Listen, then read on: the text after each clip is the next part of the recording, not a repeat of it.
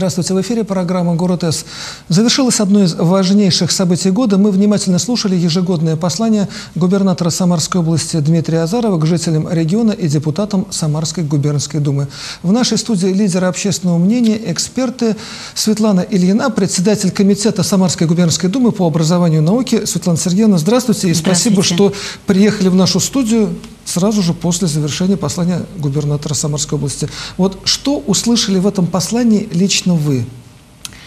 А, мне было очень отрадно услышать отчет деятельности нашего губернатора за пять лет, потому что именно в образовании нам есть чем гордиться.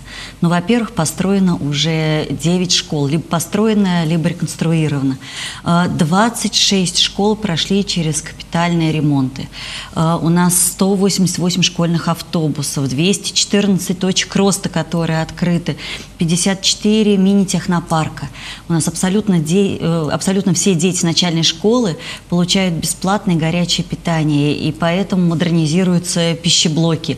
И мы часто устраиваем выездные мероприятия комитетские, когда наблюдаем, и правда сердце радуется, потому что какие красивые у нас становятся школы, пищеблоки. Э, наши дети, правда, очень счастливые. Вместе с тем мы услышали и ту программу мы все ждем, а что же нас ожидает в будущем. И мы всегда волнуемся, потому что живем в очень непростые годы. Сначала у нас была пандемия, сейчас идет СВО. Все время мы боимся, что будет секвестирован бюджет – но мы видим, что и за пять лет ни одна позиция, из которой была заявлена, она не была упущена из вида. И сейчас мы видим глобальные планы. У нас планируется строительство в ближайшее время еще девяти новых современных школ. Четыре из них будут введены уже в этом учебном году, в этом году, в 2023. Мне было отрадно услышать поручение губернатора, чтобы создать департамент высшего образования – в последние годы я часто общаюсь со студентами, и я вижу, что студенты – это та молодежь, которой тоже нужно управлять, руководить, и все время у нас вузы, они находятся вне системы образования Самарской области, они федерального подчинения. А очень ну да, многие, это так и есть юридически. А очень многие проекты проходят э, все-таки с вузами, со студентами, с преподавателями вузов, и э, очень правильно правильное поручение, чтобы Департамент высшего образования э, у нас э, при Министерстве образования и науки был создан. Более того, э, мы сейчас претендуем на звание столицы изобретательства – и, конечно, нам нужны дополнительные штатные единицы, потому что у нас э, есть те люди, которые э, посвящают себя науке и именно изобретают. И флагманом э, в этом направлении является наш самарский медицинский, первый технологический. Очень надеюсь на то, что тот дефицит мест в детских садах – которые еще пока существуют, мы услышали, что мы практически ликвидировали, но все равно еще немного остается, особенно это касается ясельных групп. Мы э, абсолютно уверены в том, что теми темпами, которыми образование движется вперед, и этот вопрос будет решен.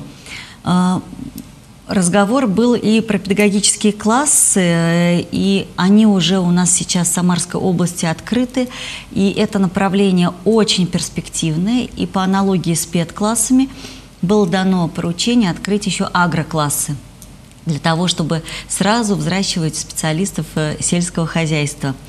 Э, безусловно, вызывает интерес проект межвузовского кампуса. Это будет какой-то абсолютно потрясающий проект, город, в котором будут сосредоточены все технологии.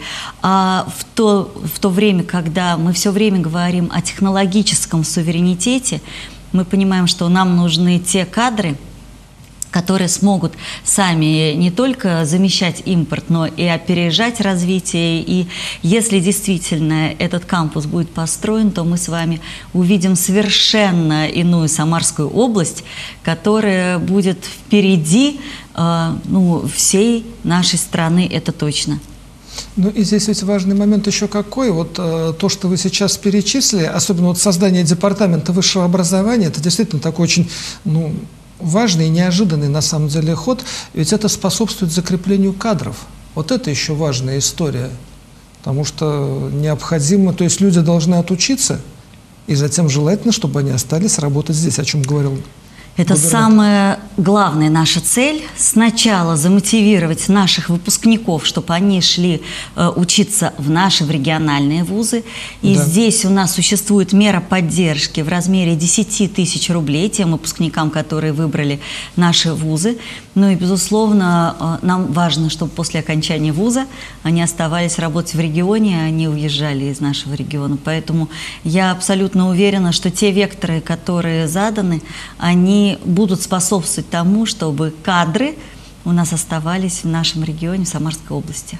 Ну и к тому же вам, как руководителю учебного заведения, как педагогу со стажем, с большим, ведь это же важно и интересно. Вот вы сказали про педагогические классы, про развитие педагогического образования, потому что, ну, понятно, что развитие образования невозможно без э, людей новых. Вот людей как бы принципиально по-другому дышащих, смотрящих на мир. И это невозможно без развития системы именно педагогического образования. Соглашусь.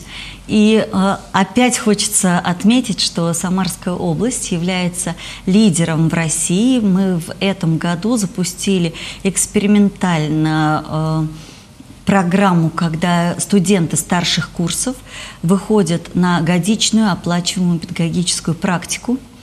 И э, потребовалось, конечно, изменение нашего законодательства. Вузам потребовалось изменять учебные планы. Да. Но мы получили тех специалистов, молодых, которые уже в школах могли год проработав, э, под, эм, получить наставничество, наставника и со стороны школы, и со стороны вуза, и э, для многих влюбиться в профессию с тем, чтобы в ней остаться потому что э, часто встречаюсь со студентами. И когда задаю вопрос, вы пойдете работать в школу? Ну вижу, да, это важнейший вопрос. Вижу в глазах страх. Сомнения, э, скажем так. Боятся наши студенты, боятся трудностей, боятся, что детей много в классах, боятся родителей. Это именно тот самый страх и вот эта годичная практика, она позволяет увидеть совершенно с другой стороны, что бояться-то, в общем-то, и нечего, что дети – это э, тот эликсир молодости, который подпитывают даже опытных учителей. Всегда же говорят, что учителя молоды душой. Почему? Потому что они всегда находятся рядом с детьми. И, соответственно, родители – это первая помощь в школе, э, потому что все родители заинтересованы в том, чтобы детям было хорошо и комфортно, и поэтому они всегда охотно откликаются на просьбы классных руководителей, они готовы поддерживать учителей, и на самом деле все не так страшно, а зачастую а очень даже очень интересно. Светлана Сергеевна, большое спасибо за интересную содержательную беседу. Понятно, что послание губернатора программа очень большая, насыщенная к сожалению, время наше ограничено, но я уверен, что мы еще с вами пообщаемся и обсудим ее, ну и в том числе и другие вопросы.